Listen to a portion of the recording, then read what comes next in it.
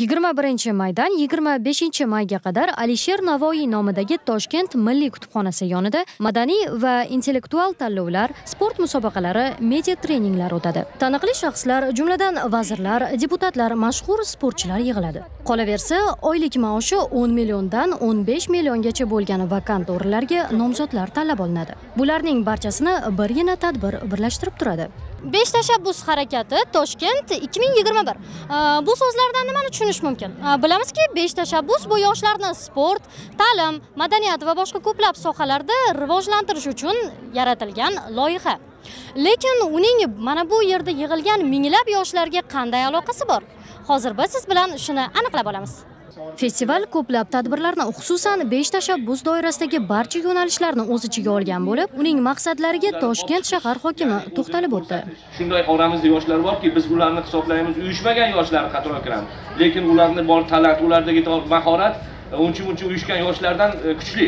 E, shunday tadbirlar orqali biza mamlakatimizda shaharimizda bor yoshlarni ya'ni ko'tarib olib chiqib ularga kelajakdagi yo'lini ya'ni yordam berish to'g'ri yo'lga sug'orishga xizmat qiladi. Shahar hokimining ta'kidlashicha bu faqatgina toshkent shahri aholisi uchun emas balki butun respublika yoshlari qatnashishi mumkin bo'lgan festivaldir. Viloyatlarda ham bu kabi tadbirlarni o'tkazish imkoni yo'qmi desangiz unga quyidagicha javob berish mumkin. Albatta viloyatlar bilan bog'liqlik masalasi bo'yicha e, man o'ylaymanki e, viloyatlarimiz hokimlarining elchilari albatta bu yerda yurishibdi. Hozir ko'rib kuzatishyapti man unga yuz foiz ishonchim komil Э, э, mana toshkent viloyati bizdan uch kun oldin ham boshladi э, chirchiq shahrida.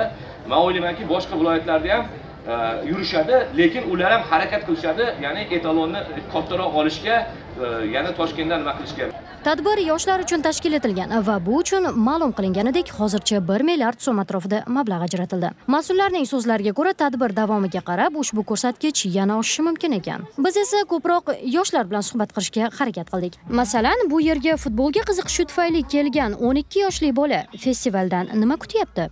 Masalan man o'zbekistondan eldor shomurodov tanlayman ajoyib kelishini kutyapsiz agar kelsa qanaqa savol bergan bo'ladi? siz bunaqa siz qancha bunaqa gol ura olasiz qanaqa harakat qilasiz bunaqa? Har nima anolarda o'ynasa ham har hujum zashtada o'ynasa ham gol uradi har o'yin. Ya'ni ularni fanatisiz to'g'rimi? To'g'ri to'g'ri. O'zbekistonda ochilish marosimida bevosita ishtirok etgan bosh vazir o'rinbosari behzod musayev kun yakuniga yetishi tadbirlarga yakun yasamasligini ma'lum qildi. Bu yerda mana kechqurun gala konsert qo'yiladi. Madaniyatimizni barcha sohalardagi yutuqlarimizni qaysi yo'nalishlarda qanday e, turdagi madaniy tadbirlarimiz bor kechqurun uni soat yettidan to'qqizgacha ko'rish imkoniyati bor. To'qqizdan keyin bemalol yoshlar uchun erkin diskotekaga o'xshagan narsa u ham bir qiziq tadbir bo'ladi. Undan keyin ham tugatamizmi degan kecha savolni muhokama qilganimizda yigirma birdan keyin bu yerda kinolar eng oxirgi zamonaviy kinolarni qo'yish boshlanadi. Unga ham hamma odamga bemalol eshik ochiq kelib imkoniyat bo'ladiki shunda ishtirok etish uchun. Shu o'rinda savol tug'iladi. Vazir o'rinbosari aytgan vaqtda shahrimiz ko'chalarida jamoat transporti harakati kamayadi yoki to'xtaydi. Bu noqulayliklarga sabab bo'lmaydimi? Tanqisli hozir uni e, metroni ishlatib transportni hozir ustida ishlaymiz. Kimdir agarda qolish niyati bo'ladigan bo'lsa uni transportlarini qo'yib qo'yamiz bu yerga. Biz nafaqat bu yerda yurgan yoshlarga balki turli soha vakillariga qolaversa xavfsizlik xizmati tibbiy xizmat vakillariga va albatta ommaviy axborot vositalari vakillariga ham bir savol bilan yuzlandik. Nima deb o'ylaysiz? Bugungi tadbirdan yoshlar o'ziga nima olishi mumkin? Masalan men uchun bu qaynoq harorat ostida qaynoq kayfiyat. Yoshlarchi bugungi tadbirdan nima olyapti keling shu haqida ulardan so'rab ko'ramiz assalomu alaykum yaxshimisiz? Nima deb o'ylaysiz? Mana shu bugungi tadbirlardan siz o'zingizga nima olishingiz mumkin? Ilhom olishim mumkin как ijodkor odamda ayta bola nima deydi? O'ziga qanaqadir motivatsiya oladi.